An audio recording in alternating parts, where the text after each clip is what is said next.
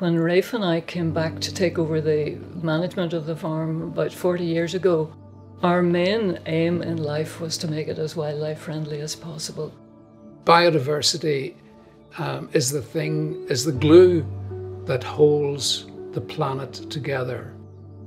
All the services that we depend on, the air we breathe, the food we eat, the materials we use for building, all these um, are provided for by this stable abundance of different species holding the thing together.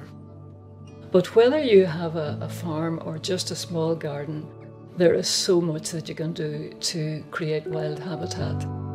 And use Irish native species where possible because they are what support the pollinators and the birds and everything else, the whole web of life. Here on our farm, um, we have over a thousand different species that we know about, and plenty more that we have still to discover. Uh, for example, moths. People are aware of one or two species of moths that maybe uh, they encounter, but we have found on the farm just short of 400 different species. The first thing that anyone can do, or almost anyone, has got a lawn. And uh, let your lawn develop over the summer into a wildlife meadow. Watch the waves of wildflowers coming in.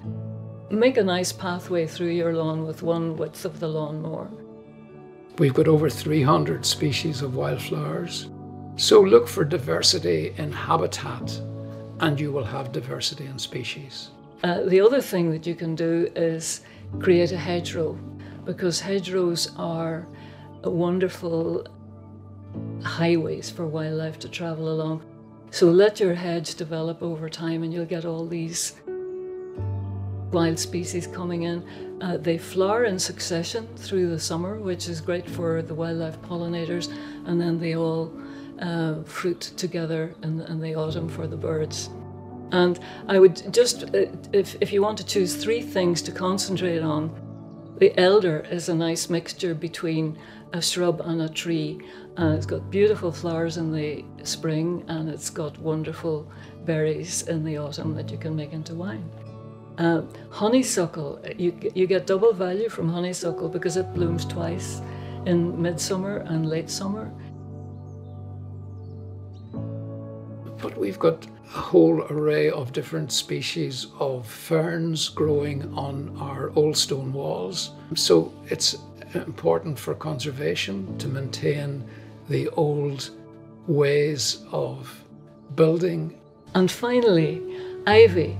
Please be friendly to ivy. It's a wonderful support for wildlife. It's shelter, birds' nests, flowers. It flowers after everything else in the autumn. Little yellow, yellowish flowers that are great for, for late insects. And all through the winter, the little hard black berries are uh, being eaten by birds. You can see birds eating ivy berries right the way through the, the winter. But if you want to plant a bush uh, for really for butterflies, uh, the, buddleia, you know.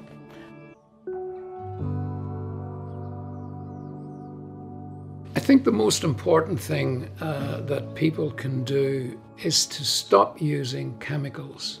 Uh, if you stop using chemicals, lots of species that you're not aware of, like insects, will survive and do their job. Because most of the insects that we don't like are kept in check by the insects that we don't know are there. Our species evolved with animals and plants all around us. So when I walk out into a garden, I can feel the blood pressure just just dropping. Make it easy for yourself. Uh, most people uh, in their gardens are frenetically gardening all the time. We are frenetically wandering around and enjoying it and letting it do its own thing.